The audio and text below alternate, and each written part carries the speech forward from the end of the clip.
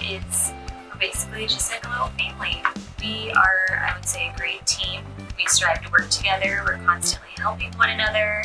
I mean, it's just a great environment and it's just always positive. I mean, we all have our stressful days, but you know, we're always there to pick each other right back up and keep going.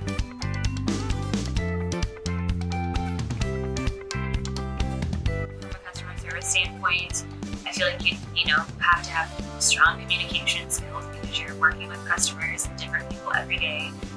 Strong computer skills just because you're on your computer, you know, 99% of the day. It also takes, you know, being, you know, willing to accept change.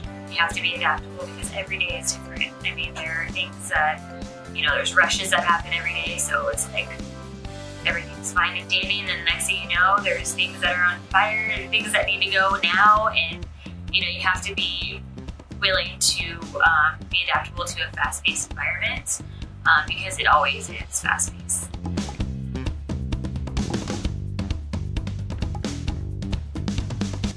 To MCC, family is important and does come first, and they understand happen, and I am a single mom, so there are times where, you know, I have emergencies that come up, my daughter gets sick, things like that, and, you know, everyone, my bosses are really understanding of that. Um, my daughter does know, you know, what I do for a living and knows how important it is for mom to come to work every day.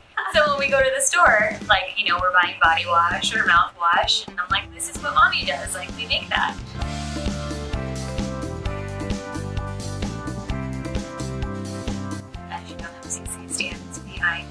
Our core values. I would say for me that passion and perseverance are my two top core values that I have to, you know, I live by here at MCC just because one, if you don't have passion, then you don't have, you know, the drive and the dedication to get the job done and do the job well.